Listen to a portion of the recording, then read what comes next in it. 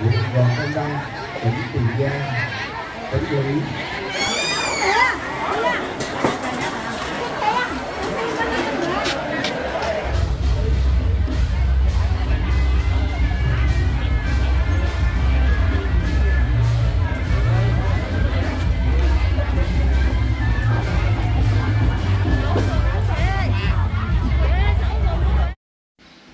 Xin chào cô chú và anh chị đến với kênh khám phá vùng quê. À, Bữa nay là buổi uh, sáng. Em chạy xuống uh, Tân Phước, Tân Tây Để ờ, uh, dự đám giỗ của uh, Bình Tây Đại Nguyên Sói Chương Định. À, Thì uh, mình uh, ngay uh, ao trường đua nha. Mình quẹo cái hướng này Thì mình chạy xuống uh, gặp Tân Tây trước. Ngay chỗ này á, là ngã tư Long Thuận nè ngay chợ Long Thuận ngay phường Long Thuận nha. Con đường này á, là đường Mạc Trăng Thành. Tới đây là tới trường ờ, phổ thông trung học ờ, Gò Công Đông. Tới ngã ngã tư này ngã ba này kêu bằng ngã ba ngã ba Tân Tây. Thì mình ờ, sẽ quẹo bên tay phải nha. Mình vô đường tỉnh lộ 871 chạy tới một đổi nữa là tới uh, ngã tư này uh, giao nhau giữa đường tỉnh lộ 871 và đường quyền lộ 02 thì mình sẽ quẹo bên uh, tay trái. Mình chạy vài cây số nữa nha. Đó. tới khu vực này là ấp dân quá giá dưới nha.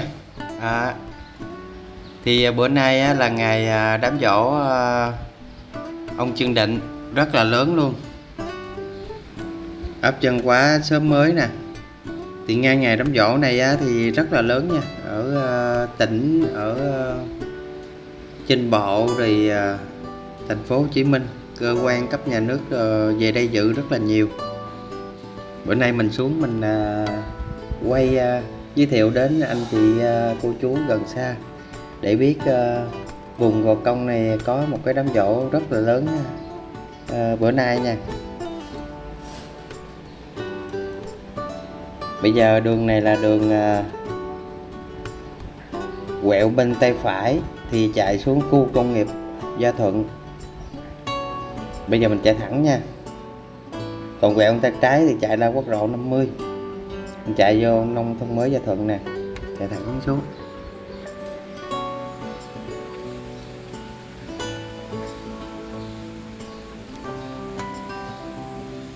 Ở đây là chợ Gia Thuận nha. Ở đây là sắp tới uh, sắp tới uh, cái đình của ổng rồi.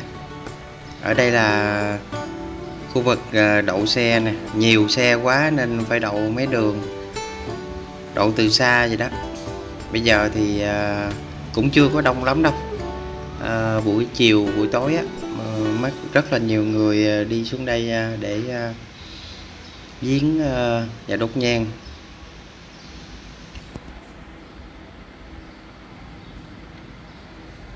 Đây là đường đi vào cái à, đình của Bình Tây Đại Nguyên Sói. Bây giờ tới chỗ này là tới đây nè. Bây giờ mình kiếm chỗ mình gửi xe. Đi gửi xe ha.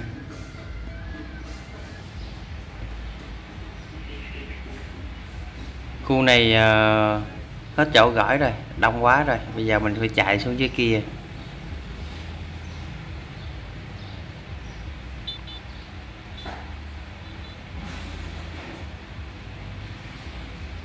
Gửi xe này thì à, 10 ngàn một chiếc. Buổi chiều mới đông. Bây giờ em đi là buổi sáng buổi trưa vô trọng à, coi có à, lễ hội làm bánh nè rồi khu triển lãm tranh rồi hình ảnh đủ thứ hết á. À, anh chị cô chú theo em vào nha. Bây giờ mình gửi xe trước đi rồi mình à, đi bộ vô. Bây giờ em mới à, gửi xe xong. Bây giờ mình đi bộ vào nha. Bữa nay thì à, công an à, các cấp à, các ngành à, đi về đây à, rất là nhiều.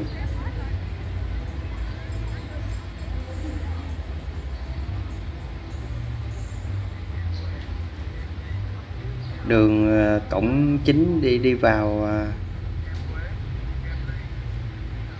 cái đình nè. Đền thờ anh hùng dân tộc chương định. Ở đây thì ờ, khu đám lá tối trời nó nằm trong đây à, khu phía sau á. Ở đây là phía trước để để bà con vô đốt nhang. Phía sau á thì để à, có khu vực để ăn nè khu vực à, nấu à, nấu bánh truyền thống.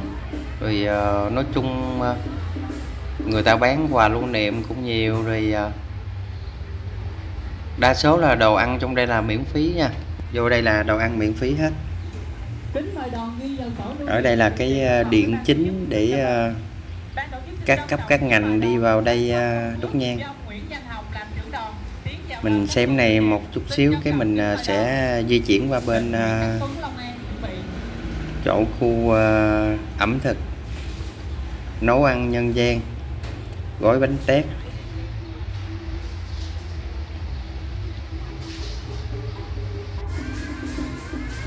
Bình Tây Đại Nguyên sói à, ông Trương Định thì ông sinh năm 1820 ông chết đêm 19 tháng 8 1864 à, ờ, ổng ờ, được 44 tuổi nha là ổng à, đã chết ngay chỗ này. Thì à, dân số của huyện Gò Công Đông á là 140.540 người diện tích là 301 km vuông nha khu vực ở Gò Công Đông này. Mật độ thì à, 465 người một km vuông. Cái quyện này thì cũng rất là nhiều người sinh sống ở quyện này nha. Mỗi khi uh, tới cái uh, mùa lễ hội hay mùa gì á bà con uh, tụ họp về đây rất là đông. Thì khu vực này á là khu vực uh, gói bánh uh, truyền thống gói bánh tét. Đa số đồ ăn trong đây á là miễn phí ờ, một trăm phần trăm luôn á. Vào đây thì ăn uống rồi ờ, có nước có nước suối rồi ờ, bánh xèo bánh đầu bánh tét bánh đầu ừ, đây thì em nghĩ là chắc có nhà tài trợ để tài trợ cái cái đám này. Không, hoặc của tiền của nhà nước á người ta làm.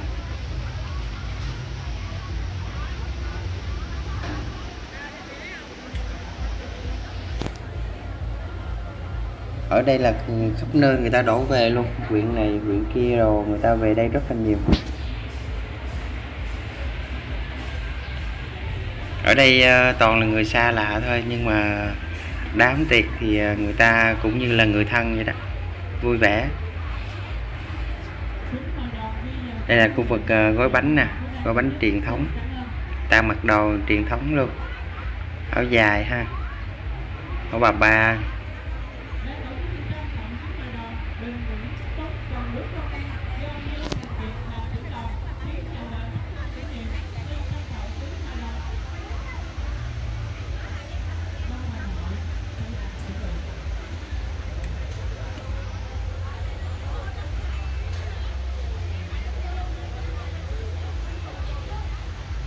bây giờ thì cũng chưa có đông lắm đâu. Tối nay á tối nay thì à, rất là đông. Ờ, bữa còn bữa nay và ngày mai nữa là hết rồi đám này thì à, đãi trong 3 ngày 17 18 19 hết ngày 19 là là coi như là hết rồi đó.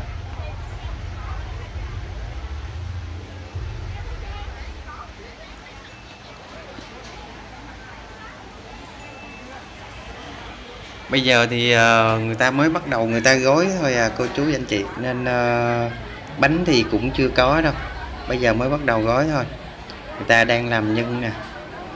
Người thì làm nhân, một người thì à, có nhiệm vụ gói bánh. Người thì à, trộn bột nè. Nên à, có rất là nhiều khâu để làm bánh. Đa số là đàn bà làm bánh này nhiều. Đàn ông thì em cũng thấy rất là ít.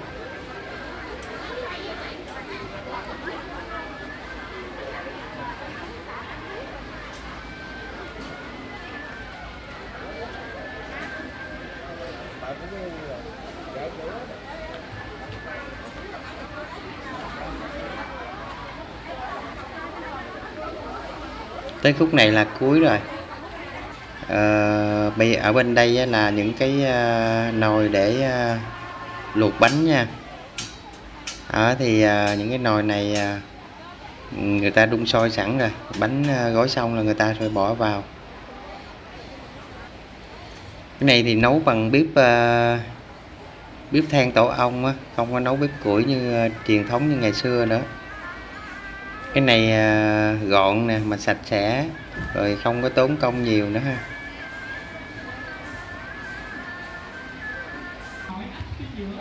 Còn khu vực, đây là khu vực nhà trưng bày những cái hình ảnh à, kháng chiến ngày xưa đó, rồi à, những cái bức tranh cổ, rồi những cái cổ vật cổ ngày xưa. Còn ở trong đây người ta còn lưu giữ lại ngày xưa tới bây giờ rất là lâu rồi. Những cái nội quy nè rồi những cái bức ảnh ờ, rất là lâu. Người ta còn lưu giữ lại ờ, tới ngày hôm nay. Đây là bức ảnh ngày xưa của Bình Tây Đại Nguyên sói, khởi nghĩa. Trương Định 1859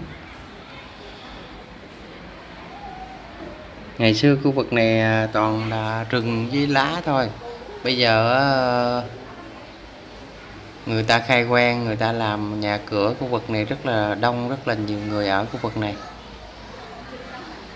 Ở đây là những cuốn sách của ờ, Bình Tây Đại Nguyên sói. Còn khu vực này là những cái cổ vật ờ, ngày xưa tới bây giờ. Đó. Nên người ta đem về đây, người ta trưng bày, người ta để trong tủ kiến như thế này.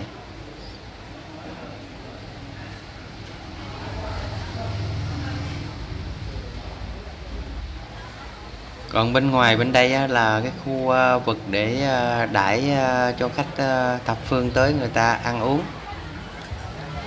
Ở rất là đông. Ở đây có khu đồ chay nè cũng có. Khu đồ mặn cũng có. Ai ăn gì thì tùy. Người nào ăn đồ mặn thì qua bên kia còn ăn đồ chay thì bên đây. Đây có nhiều khu vực ăn lắm. Còn à, bên đây á, là những cái bộ sưu tập tranh đồng quê của vùng Gò Công. Còn bên đây là những cái ao này, cái ao ờ, rất là mát rất là thiên nhiên. Đây những khung cảnh ờ, ngày xưa. Cảnh làng quê á. À, giống như chụp rồi người ta lưu giữ lại.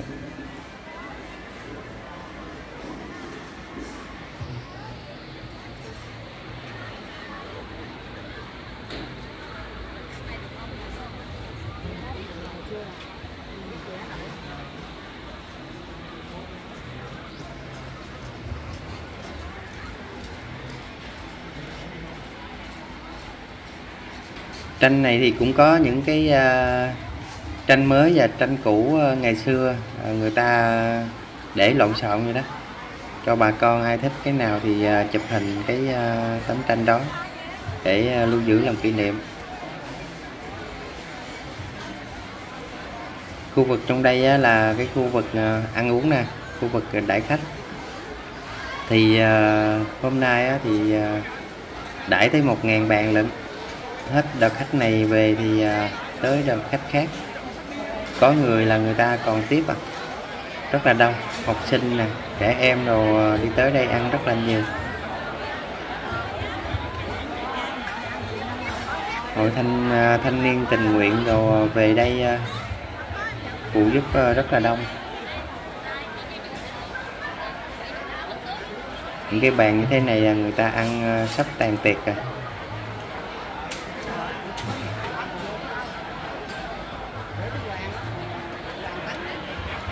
khu vực uh, phía sau á là khu vực uh, giống như ờ, người ta làm đồ ăn ngoài trời á giống như chiên bánh nè rồi người ta làm những cái uh, cái gì uh, giống như ngoài trời để cho bà con tới đồ dễ uh, dễ lấy bánh lấy đồ đó.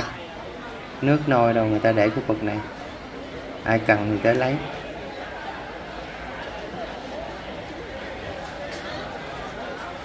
Đây là khu vực uh, bà con ờ, chiên bánh là miễn phí nè.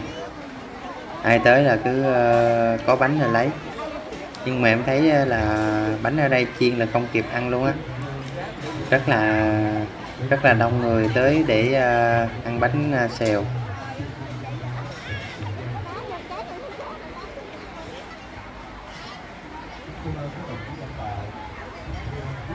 Chiên một người uh, cả gần 10 cái chảo mà còn chiên không kịp á. Bây giờ ờ, hết hết bột rồi, nên ờ, người ta cũng ờ, hạn chế rồi. Những cái bánh như thế này là những cái bánh cuối cùng rồi.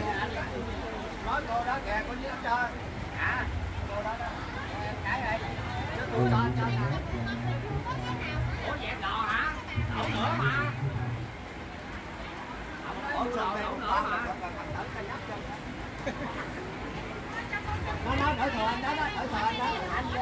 chiên à, bánh như thế này quá chuyên nghiệp luôn. Chiên đều ren luôn ha. À,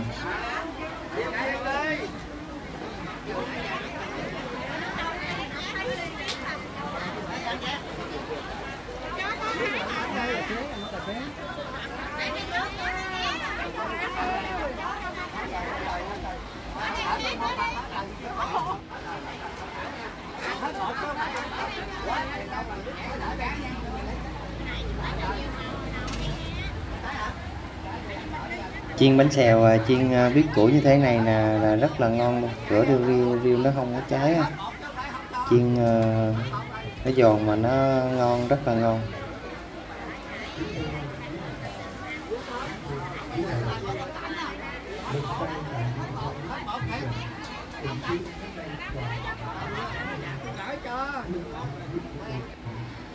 Còn đây là khu vực của ờ, người lớn ờ, trẻ em và phụ nữ đồ ngồi đây ờ, dưới bóng cây nè, ăn bánh xèo. Lại đằng kia lấy bánh xèo, lại đang ngồi ăn ha.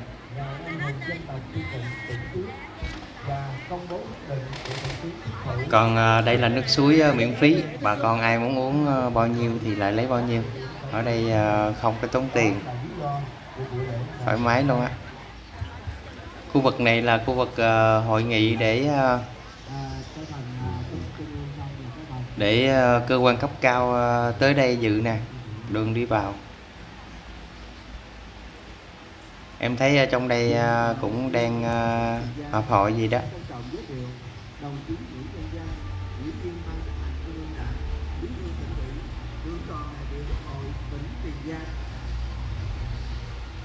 Trọng giới thiệu đồng chí Quỳnh Văn Niệm, nguyên Ủy viên Ban chấp hành Trung ương Đảng, nguyên Bí thư tỉnh ủy Tiền Giang, nguyên Phó trưởng ban Ban tổ chức Trung ương.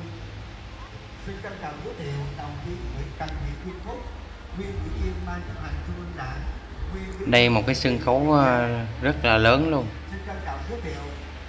Để cho cơ quan nhà nước ờ, họp hội bàn chuyện ờ, đại sự ha mình thì à, người dân chắc mình không biết gì về vấn đề này rồi.